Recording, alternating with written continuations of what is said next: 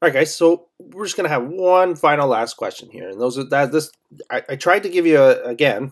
I tried to give you as broad of a question set as I possibly could, right? For those of you heading into whatever stream you're heading into, right? And so we can we can see optimization is not just applicable to the sciences, right? We can we can apply optimization much like what we did in in grade ten to a financial situation or an economic situation, right? So for those of you heading into that stream we can use this stuff to, to optimize uh, financial situations as well, right? And so uh, one question that we could see would be a very familiar question that you guys should have seen in the past. Would have been something like this. A commuter train carries 2,000 passengers daily from a suburb into a large city. The cost to ride the train is $7 per person, and market research shows that 40 fewer people will ride the train for each 10 cent increase in the fare. Okay. If the capacity of the train is 2,600 passengers and contracts with the rail employees require that at least 1,600 passengers be carried, okay, um, what should the fare be so that the railway charge, or what, what fare should the railway charge so that we get the largest possible revenue? Okay. So anytime I've taught these questions, right, any sort of economic situation, right, like a very basic or, or uh, yeah, very basic model of like how somebody could make money, right? We could say something like this. Revenue is going to equal, you know, like if you're going to make money, you're going to take the number of something that you sold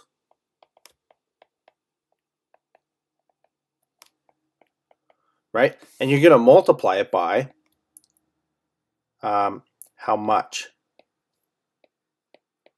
did you sell it for in in uh,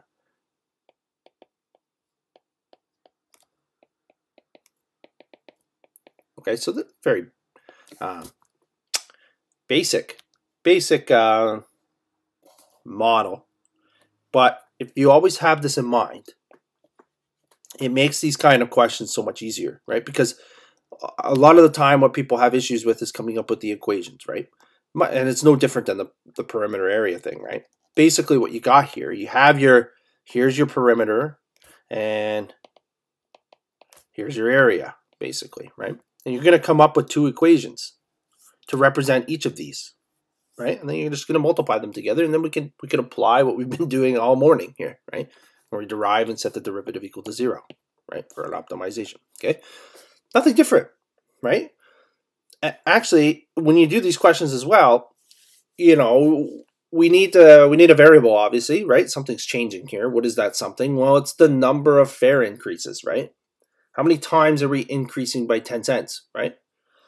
Not the 10 cents specifically, but it's the number of times that we increase. So that this is pretty typical as well with these kinds of questions, right? We can always say let x represent um, the number of uh, fare increases. Okay? And so in order to jump down here, I'm just going to write a revenue, right? I'm just going to try to represent this situation using these kind of little tricks that I've given you here. So we could say revenue is going to equal. All right. Well, how are we making money in this particular situation? Well, it's it's from you know the number of something sold. Well, it's the number of passengers, right? So we could say number of passengers and that needs to be multiplied against the fare right? How much we're charging. Okay, so let's let's come up with two equations to represent what's going on here then, right? So revenue is going to equal what number of passengers? Well, currently as it stands, we're starting at or we see that 2,000 passengers are riding the train daily, right? So we're going to see, okay, number of passengers, we're at 2,000. How is that number changing? Well, it's either going to go up or down depending on if we manipulate something, right? The thing that we're manipulating is the number like the fare increase, right? Right. So how much are we how much are we charging ultimately, right? Well, it shows that 40 fewer people, you know, 40 40 fewer people are going to ride this train. Minus 40 for each 10 cent increase in the fare. Well, we said that x was going to represent the number of fare increases, right? So we're going to say 40x. We don't know how many of them we're going to do, right? We just know that we're going to increase or uh, decrease the the uh, fare rate, right? So how many times do we do that? By 10 cents? You know, it doesn't matter if it's by 25 cents. It doesn't matter, right? We're just going to increase or decrease the fare, right? How many times is the is the variable, right? So that's the first part of this question. We got, you know, we've we've got something. How is how is the number of something changing? 2,000 to minus. We're going to lose passengers for every 40, or sorry, 40 passengers for every 10 cent increase. That is this right here, right? Now, what's actually happening with the fare? Well, where did we start with the fare? Well, originally it costs $7 per person. So $7, right? And then we're going to add 0.1 cents X number of times. Okay? And we end up, if we were to expand this out, we would see that we'd get a, a quadratic, right? So we'd see that we get 14,000 minus 80x minus 4x squared. Okay. Now, we just want to like derive this revenue equation, right? Ultimately, what we want to do, we want to derive the revenue equation with respect to what's my variable? X. That's what we're going to do, right? So let's do that. Well, if I derive this thing, I'm going to get uh, negative 80 minus 8x. And for a maximum or minimum, right?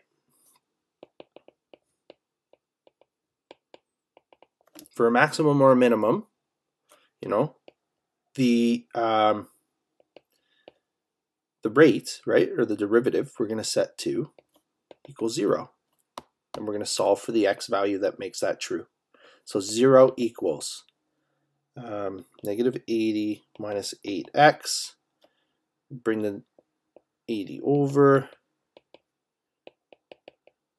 So what does this mean? All right, it means that we're going to decrease, right? What does this mean? This means we're, we are going to decrease be fair 10 times. That's what this means. That's what's going on in your head here, right? And so for a maximum revenue, the actual numerical amount of money that we can make here, right? We're going to say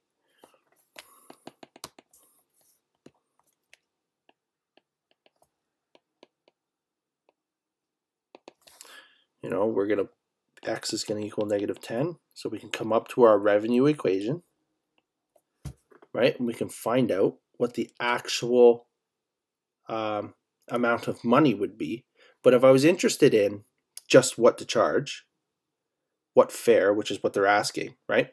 I could ask like, what's the total amount of money that would they would make in a month or whatever it was, right? Whatever time frame. You could use this equation to help you, right? This is what cool. You have all these different equations like You've built this stuff, right? You can use it to answer different things. The thing we're actually interested for this particular question is, what is the fare? Okay, the fare, right? Well, we, we defined what the fare was. So what we're going to do is for a max max revenue, what's the fare that causes the the um, the uh, maximum fare, uh, revenue? Well, we can find it, right? So for max fare, let's say uh, fare is going to equal 7 plus 0 0.1 times 10, negative 10, sorry.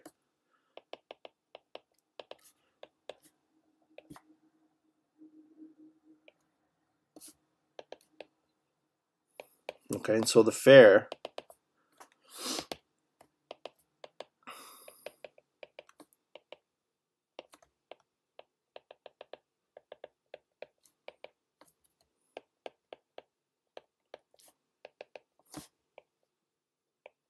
$6. Okay. Okay, we know there is something else here as well.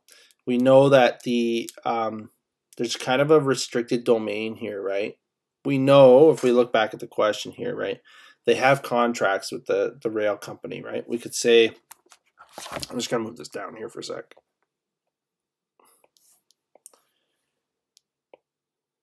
I might even shrink it a little bit just to save some room. Okay, we know that there's a there's a restricted domain.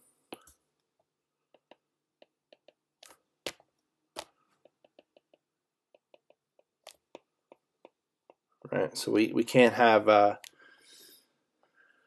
um, we can't have a certain number of people below or above a certain value, right? And so that's what the restricted domain is. It tells us that there's we can't have any lower than 1600 due to a contract, right? Um, but we can't have any more than 2600, right?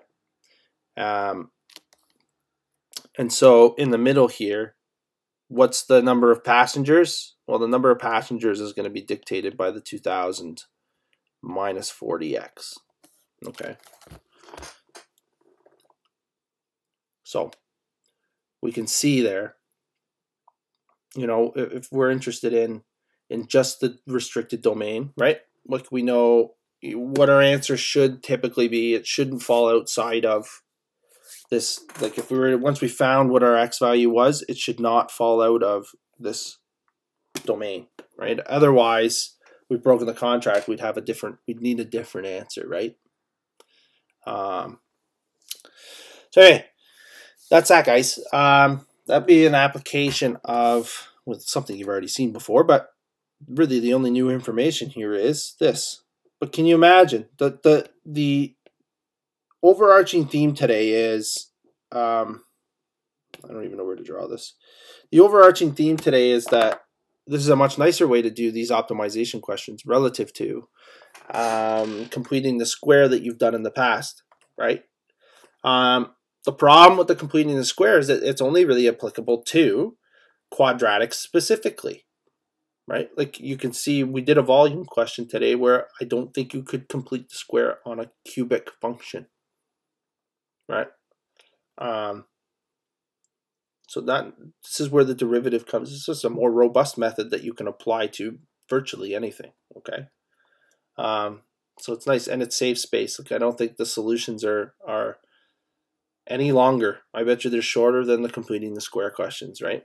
And the thing with the derivative is, or if you guys remember completing the square, there is the likelihood of making sign errors or little small errors in completing the square that ultimately affect your end answer, right? And so we want to avoid that. That's what calculus does. It just makes your life a little bit easier, okay? Um, so that's that. Okay, there's there's four different kinds of examples of optimization. And you can see the overarching theme there is we always set the derivative equal to zero for an optimal optimization question, right? And there you have it. Okay. It's always the same approach. It's the coming up with the equations. It's going to be the tricky part for you guys. Okay. So that's that. You guys let me know if you have any questions.